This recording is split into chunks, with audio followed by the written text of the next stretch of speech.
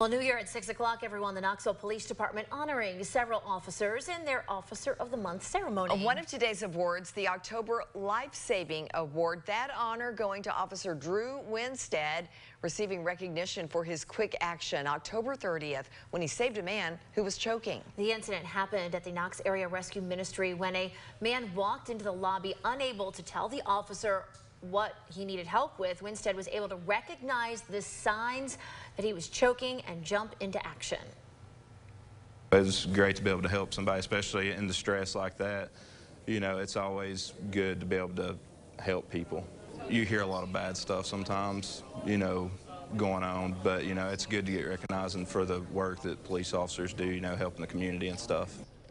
We thank you for all the work you do out there. And other awards, by the way, today included the October Officers of the Month Award, which went to three officers, actually. And we have much more on that story on our website at WATE.com.